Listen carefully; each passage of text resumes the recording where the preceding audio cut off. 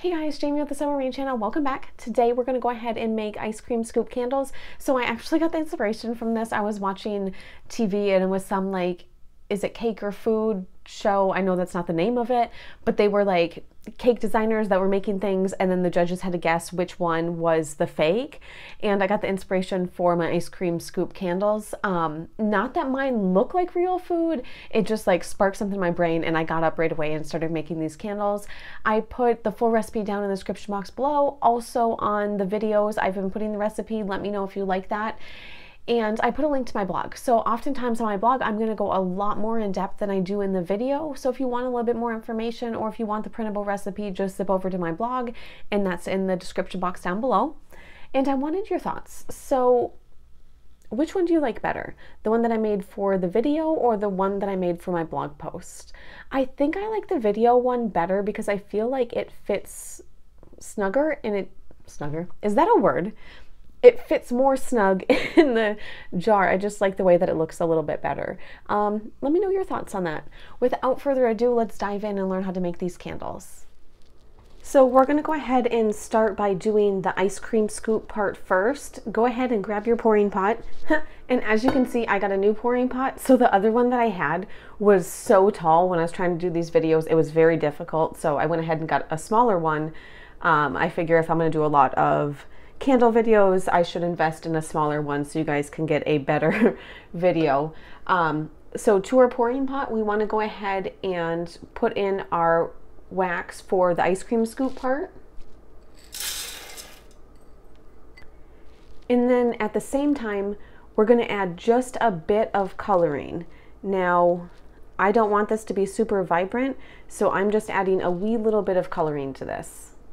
I'm gonna pop this on a double boiler until it's completely melted and then I'll come back. Now that our wax is completely melted, we're gonna go ahead and add our fragrance oil.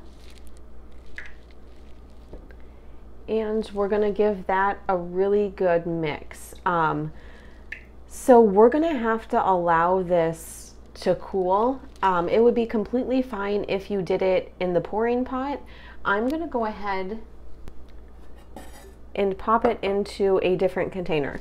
I just find it's a little bit easier for me to mix it in this container than it is in the pouring pot. And then also when I'm gonna scoop the wax ice cream scoop, this is an easier container to work with. So I'm just gonna go ahead and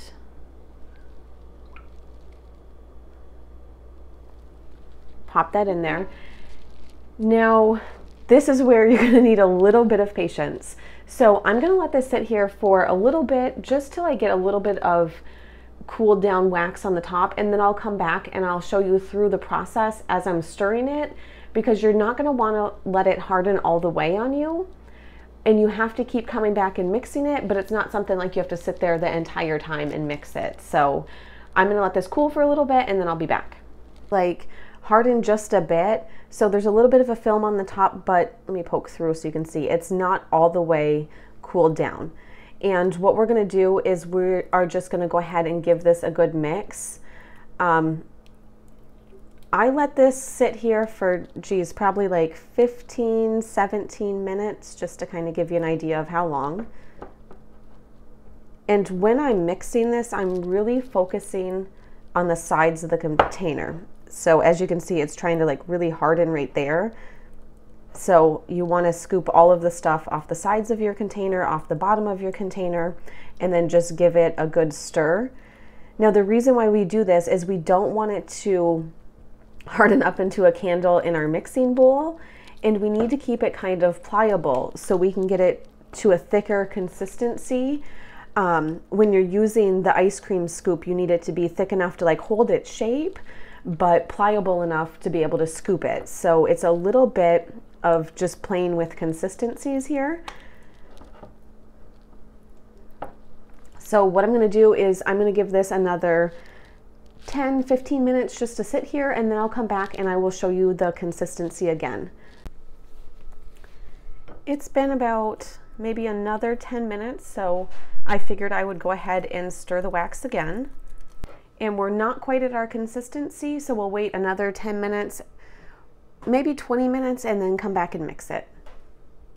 So it's been like another 10, 15 minutes, and I just mixed this up, It's starting to thicken up. Um, it's still a little bit soft for what we're going for. So when you're doing it, kind of see if details stay in your wax. So I guess you're looking for a sort of trace. So I want to make sure that when we scoop this into an ice cream, it's actually going to hold its shape. Um, and I think we're getting very close, but we need just a little bit longer before we can actually scoop this and get it to stay. So I will be back again um, in a little bit to check the consistency. So I went and grabbed just a wee little bit of wax paper and this is starting to harden up and let me show you the consistency here. So it's pretty solid. It's a little bit soft to the touch, but it's good enough. Like it's hard to mix and it's gonna hold our shape when we scoop it with the ice cream scoop. You wanna make sure it's one of the ones with the bars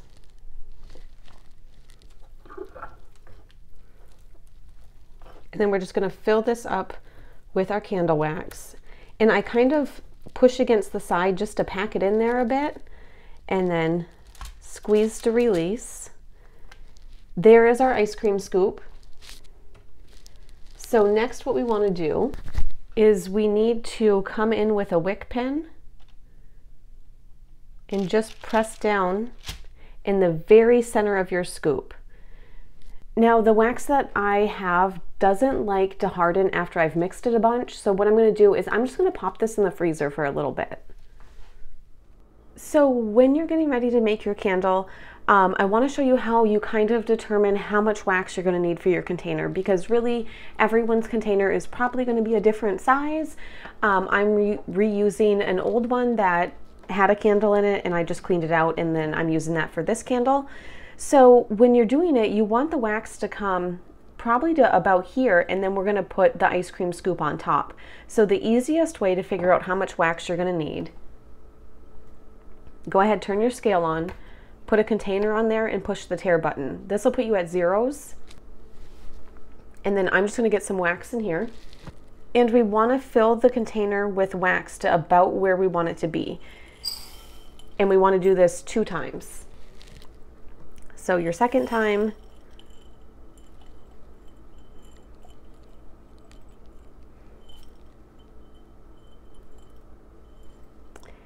and I'm at 7.3 ounces. So for this candle, I want to use 7.3 ounces of wax and then we will put the ice cream scoop on top. I hope that makes it a little bit easier figuring out how much wax you need for this. So now we're going to go ahead and put the wick into our candle. Um, after you're done checking how much wax you're gonna need, make sure you wash your candle out. So I went ahead and washed this out again just because you don't want it to be, sometimes it gets some wax flakes on there or a little bit of like wax residue even from just measuring it. So just give it a quick wipe out before you put the wick in. To attach the wick, what you're gonna do is on the bottom of the tab, just put a little bit of hot glue and then carefully put it in the very center of your candle. And this candle is kind of deep, so it's hard to get my hands in there. And then I just give it a good push down, and now our jar is prepped and ready to have the candle poured into it. I went ahead and put our 7.3 ounces of soy wax into our melting pot. And to that, I'm gonna add just a wee little bit of the color again I don't want these to be super vibrant, so I add just a dollop of the color. If you want yours more vibrant, feel free to add more. I'm gonna pop this on a double boiler until it's completely melted. So now that our wax is completely melted, we can go ahead and pop our fragrance oil in. And we're gonna give this a really good mix. Now, I like to mix my fragrance oil for at least a minute when I'm putting it in, that just kind of allows the fragrance oil and the soy wax to bind completely. So we'll give this a really good mix. And we'll go ahead and pour the wax in there. Now, when you're pouring it, be mindful of where you want to stop for your ice cream scoop. So we should have pretty much just enough wax, but just kind of watch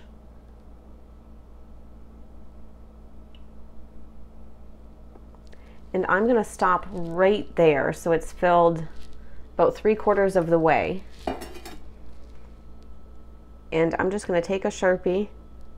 Wow. And I'm gonna use that to center my wick.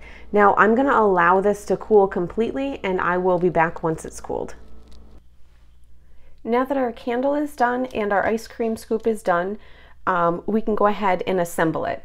So what I like to do first, I'm just gonna move this out of the way, I'm gonna hit the top of this candle with a heat gun just so we can melt it a little bit to get the ice cream part to stick.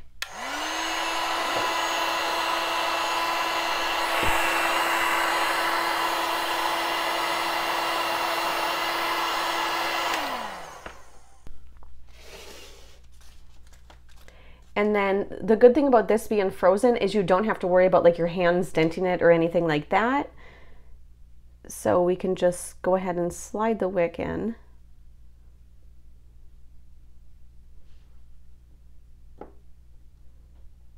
And then just kind of press it down onto your candle.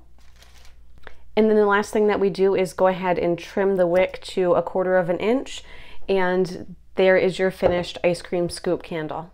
And there is our finished ice cream scoop candle. I hope you enjoyed the video. I hope you enjoy making your own. And if you haven't done so already, be sure to hit that subscribe button down below. Bye.